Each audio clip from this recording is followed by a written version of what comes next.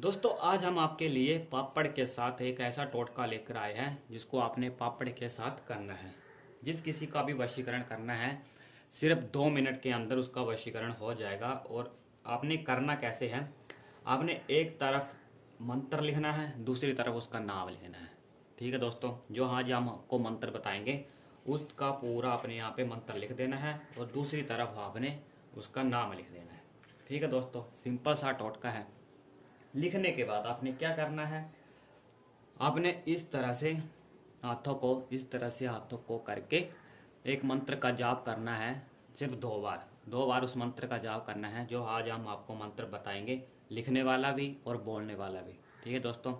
तो आपने दो तरीके से उस मंत्र का जाप करना है, और जिसका भी वशीकरण करना है, वो आज पूरा आपके सामने दो मिनट के अंदर हो ही जाएगा।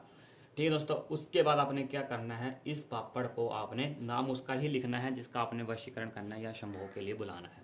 ठीक है दोस्तों, उसके बाद आपने इस पापड़ को उसके घर के बाहर गाड़ के आ जाना है चुपचाप रात के समय। ठीक है दोस्तों, अगर दिन में भी गाड़ना हो तो देख लेना कि कोई हो ना हो साथ में, और इस पापड़ को आपने गाड़ के चले आना है। ठीक है दोस्तों सिंपल सा टोटका है, कोई कुछ नहीं है। अगर इस टोटके की जानकारी आपको पता नहीं चली हो तो हमारे नीचे दिए गए नंबर पर आप मंत्र की जानकारी और इस टोटके की जानकारी ले सकते हैं। ठीक है दोस्तों, सिंपल सा टोटका है।